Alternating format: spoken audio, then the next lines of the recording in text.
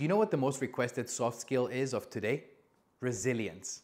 Yeah, the ability to stick around and try again.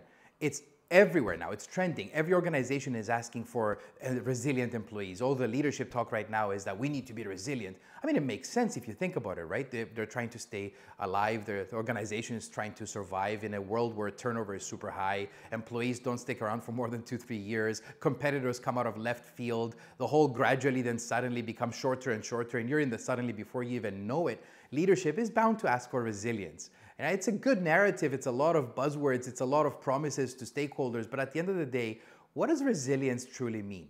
Is that something you're born with, or is that something that you, um, you inherit over your upbringing? And is that a skill you can train, or is that something you need to worry about during recruitment? All of which are good questions, I gather, but let's start with the basics. What is resilience? The best way to describe resilience for me is found in the lyrics of a song from the 90s, and it goes something like this I get knocked down, but I get up again. You're never going to keep me down.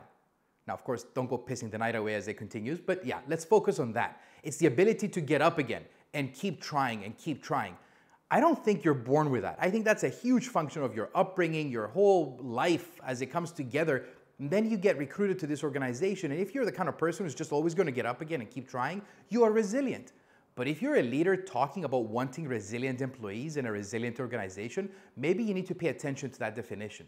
Because the only way you're going to get resilient employees is if you are the one who's putting their hand down, lifting them up again when they get down, instead of reprimanding them for falling in the first place.